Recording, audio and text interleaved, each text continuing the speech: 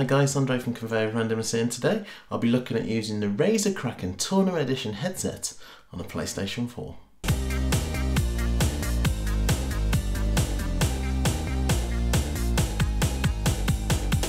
If you saw my video on the Razer Kraken Tournament Edition headset using on an Xbox One, you'll know that I mentioned that if anyone wanted a video on me using this on a PS4, then I would make that video. Well, that comment came and here I am making that very video. This video will only be on the functionality of using the Razer headset while playing on a PlayStation 4. If you want to see my in-depth video where I look at the unboxing, technical details, look, style and comfort of this headset, then I will link to that video up there and in the description below. In the comments section of that video, a few people people were asking specifically about the USB audio controller.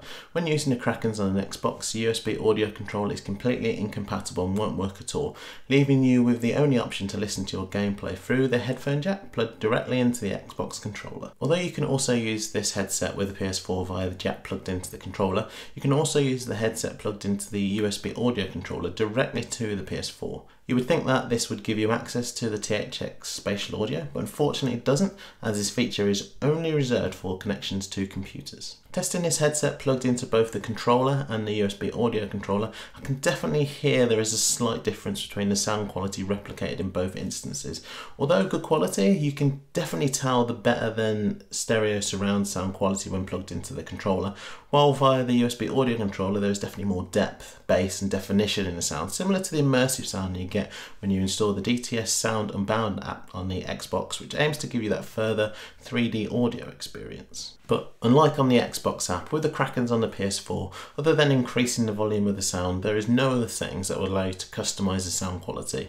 Although at the same volume level, the Kraken in the USB audio controller does seem a lot louder compared to being plugged into the controller. The microphone, although probably the weakest part of this headset in general due to its often at times low output, there should be enough there for speaking in your party chat or streaming clearly and concisely. This is me testing the Razer Kraken Tournament Edition headset microphone.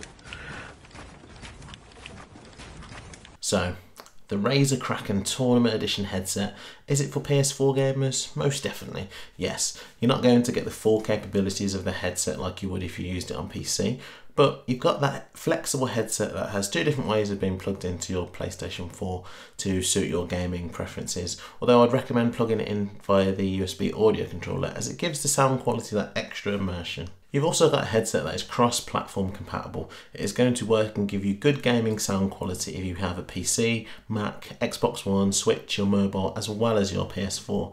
If you are though solely using it on consoles you'd probably be better off with one of the Razer Kraken headsets which would be more beneficial as you'll be buying the same headset cheaper and without the USB audio controller and the additional spatial audio functions it brings. But it all depends on which platform you intend to use it on. Being on top of your hearing senses is very much an important part of gaming these days when it comes to potentially being able to give you the edge on your opponent or overcoming a difficult section on a campaign mode.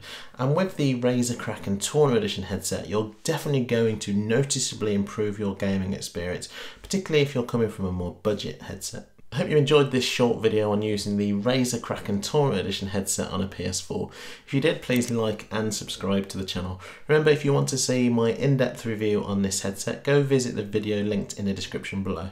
Thanks for watching. I'll see you on the next one. Bye. Why don't you go and watch one of the two videos below, or both if you want. Click before the time runs out. Three, two, one, go.